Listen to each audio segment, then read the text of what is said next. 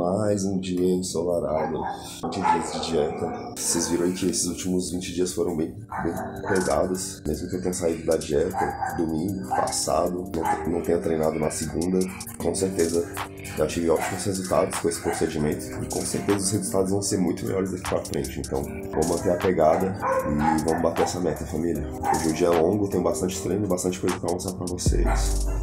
E é isso aí, bora nessa.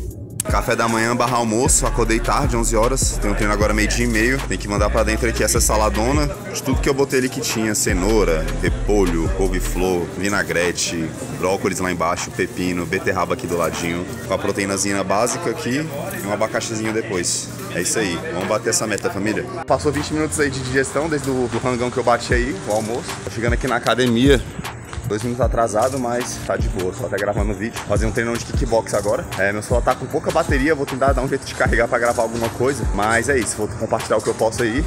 Me acompanha e vamos bater essa meta.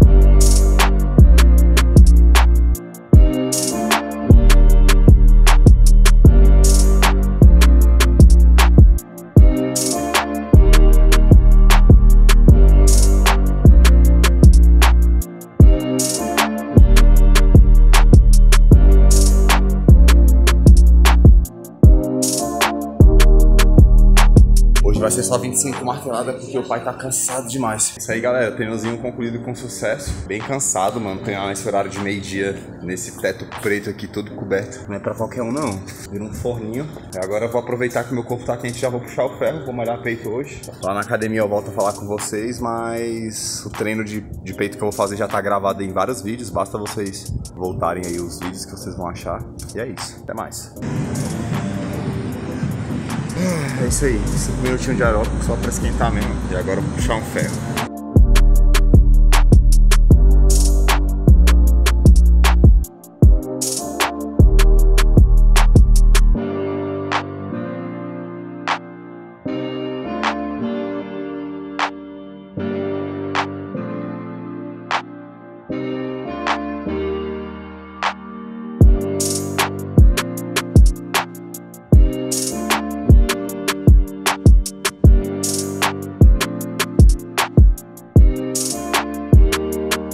Academia vazia, vazia. Dá até pra tirar a máscara aqui pra falar com vocês.